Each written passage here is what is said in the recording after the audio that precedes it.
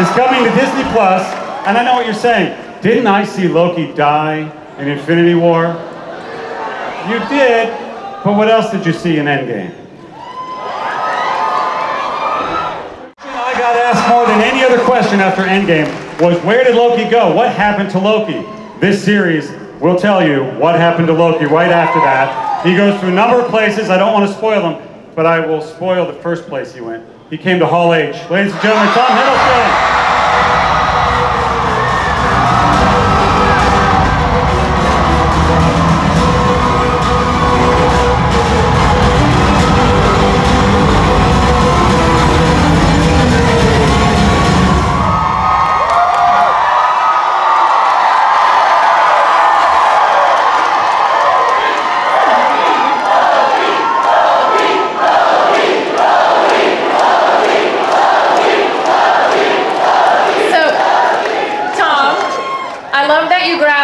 The Tesseract Space Stone and then the first place you chose to come is Hall H. Solid choice.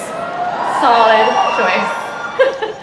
so, The last time I was standing on stage with this gentleman, I was asking him to kneel. Um, so, uh, but I wouldn't, th- there would, this whole thing would not be happening without you.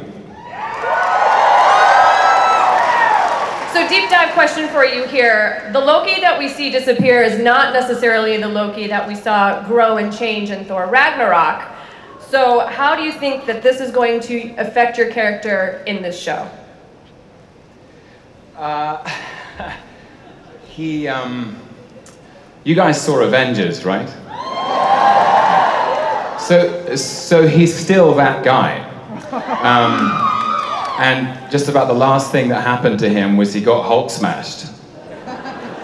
So there's a lot of psychological evolution that is still yet to happen.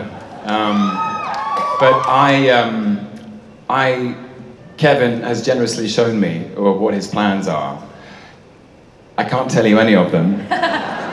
Uh, but it is one of the most exciting uh, creative opportunities I think I've ever come across. This is a, a new, this is new territory, a new world, uh, new challenges, and um, I cannot wait to get started. Well, thank you so much for choosing Hall H as your first destination to hit after stealing the stone.